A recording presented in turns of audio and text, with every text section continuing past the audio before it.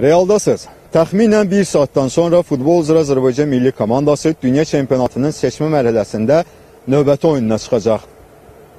Açılış maçında Portuqaliya seçməsinə səfərdə, daha doğrusu İtaliyada keçirilən səfər maçında 0-1 hesabı ilə uduzan futbolçularımız bu dəfə doğma divarı arasında Bakı Olimpiya stadionunda Serbiya millisi ilə qarşılaşacaq. 3 gün əvvəl Qətər millisinə 1-2 hesabı ilə məğlub olduğumuz oyun isə yoldaşlıq xarakteri daşıyırdı. Belə ki, Asiyalılar dünya çempionatının ev sahibi olduqları üçün E qrupunda müsabiqədən kənar iştirak edirlər. Yeri gəlmişkən, e, milli komandamız dünya çempionatlarının e, son 6 sikldə dünya çempionatlarının ilk ev oyununda ya uğurlu çıxış eləyir.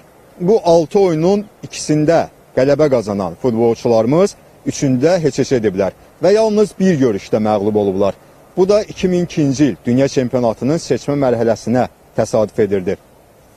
2000-ci ilin sentyabr ayında təşkil olunan oyunda İsveç millisi Bakıdan 1-0 hesablı, minimal hesablı qələbə ilə qayıtmışdı. Ümid edirik ki, e, bu gün də e, futbolçularımız, komandamız e, belə desək uğurlu bir ənənəni davam etdirəcəklər. Oyun azarkeşsiz keçirilir. Təbii ki, e, koronavirus pandemiyası səbəbindən azarkeşlər stadiona buraxılmırlar. E, inanırıq ki, ən azından ümid eləyirik ki, millimiz e, oyunu tribunadan deyil, televiziya qarşısından izləyən azarkeşləri sevindirəcəklər.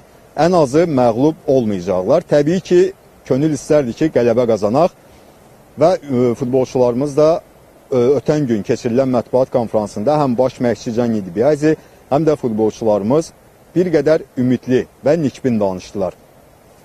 Saat e, qeyd edək ki, oyun saat 20-də başlayacaq.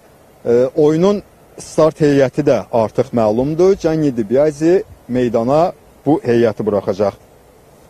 Qapıda Şahrudin Məhəmmədəli Məhəmmədəliyev dayanacaq. Meydan oyunçuları Azər Salahlı, Anton Krivarçuk, Emil Elvin Bədəlov, Bədavi Hüseynov, Maksim Medvedev, komandanın kapitanı e, Maksim Medvedev, Abbas Hüseynov, İsmail İbrahimli, Emin Mahmudov, Anatoli Nuriyev və Əli Qurbanlıdır. Ümid edirik ki, bir bayaq da qeyd etdiyim kimi, ümid edirik ki, oyundan sonra e, məhz millimizin qələbə xəbərini də Real televiziyasının canlı efirində eşidə biləcəksiniz. Realda qalın, Realı izləməkdə davam edin.